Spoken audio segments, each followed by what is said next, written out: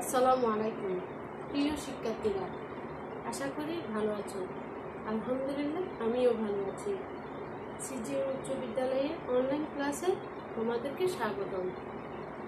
আমি আজকে চতুর্থ শ্রেণির প্রাথমিক বিজ্ঞান বিষয়ের সপ্তম অধ্যায় নিয়ে আলোচনা করব। চতুর্থ শ্রেণির ছাত্রছাত্রীদের দৃষ্টি আকর্ষণ করে বলছি। দৃষ্টি আকর্ষণ করছি তোমরা বই খাতা নিয়ে বসো।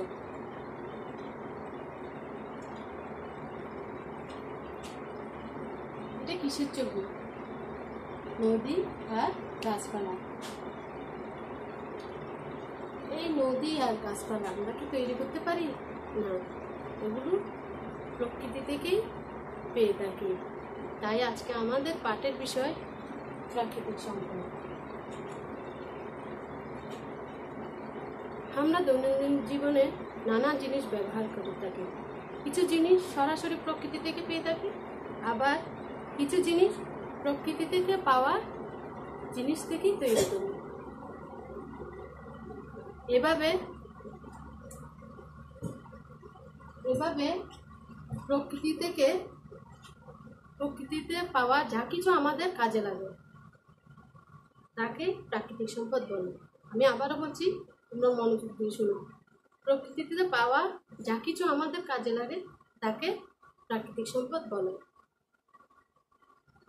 বিভিন্ন কাজে বিভিন্ন প্রাকৃতিক সম্পদ ব্যবহৃত হয়ে থাকে।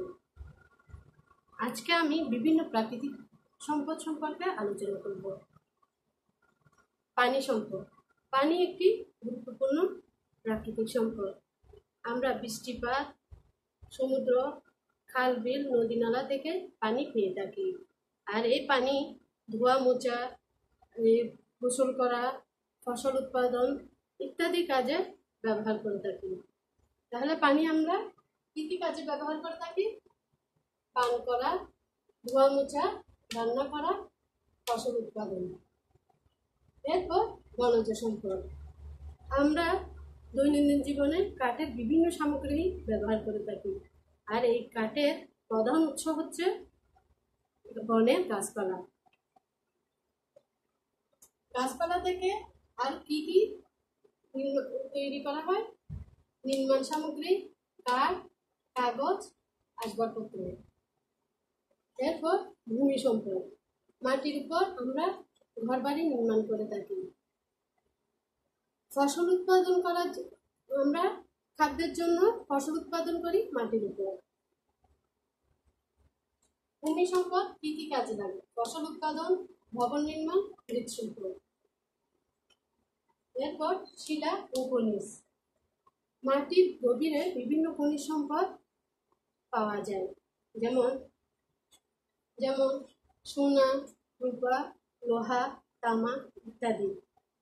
এই খনিজ সম্পদ থেকে এই খনিজ সম্পদকে কি কি কাজে ব্যবহার করা হয়?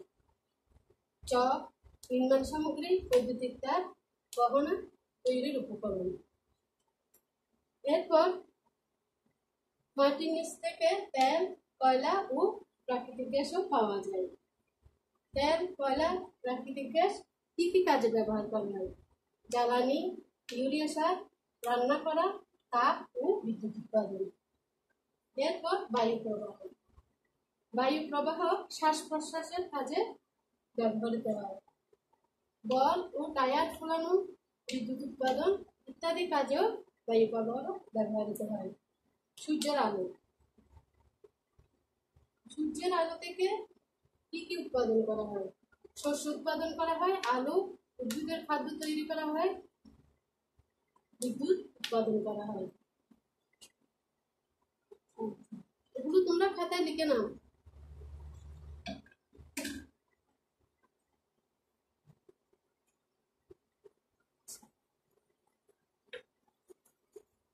আমি এখন বাড়ির গাছ দিচ্ছি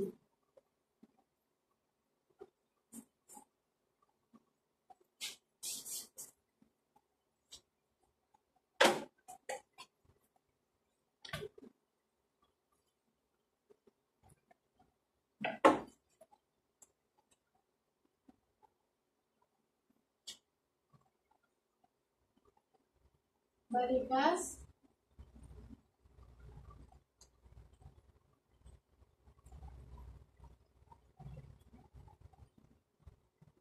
পঞ্চান্ন পৃষ্ঠার। তিনে।